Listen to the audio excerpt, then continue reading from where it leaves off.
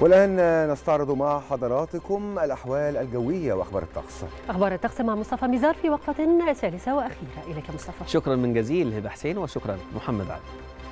أهلا بكم مشاهدينا الكرام في محطتنا الثالثة والأخيرة. نستعرض فيها أحوال الطقس ودرجات الحرارة المتوقعة غدا بإذن الله.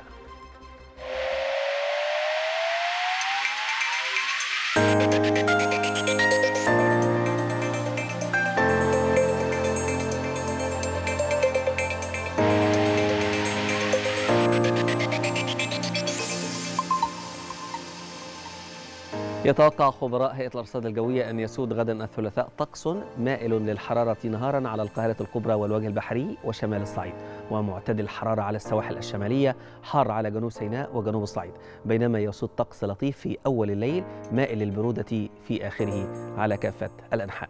فيما يلي مشاهدينا الكرام بيانوا بدرجات الحرارة المتوقعة غدا بإذن الله على محافظات ومدن الجمهورية نبدأها من محافظة القاهرة. وفيها درجة الحرارة العظمى تشير إلى أنها 27 درجة والصغرى 20 درجة ويكون الجو فيها معتدل. محافظة الإسكندرية 25 19 يكون الجو فيها أيضا معتدل. في مطروح 25 18 يكون الجو فيها معتدل. في بورسعيد 26 21 معتدل. في الإسماعيلية 27 18 يكون الجو فيها معتدل. أما عن محافظة السويس فدرجة الحرارة العظمى هناك تشير إلى أنها 27 درجة والصغرى 19 درجة ويكون الجو فيها معتدل. في العريش 25 20 يكون الجو معتدل في طابة 29 21 مائل للحرارة. في شرم الشيخ 30 22 يكون الجو حار. في الغردقة 30 23 ويكون الجو فيها حار.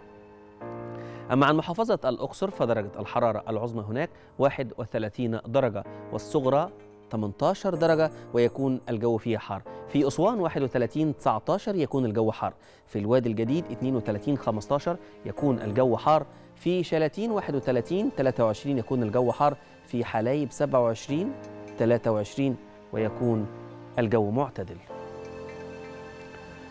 الآن مشاهدينا الكرام نستعرض مع حضراتكم درجات الحرارة المتوقعة غدا بإذن الله في عدد من العواصم والمدن العربية والعالمية.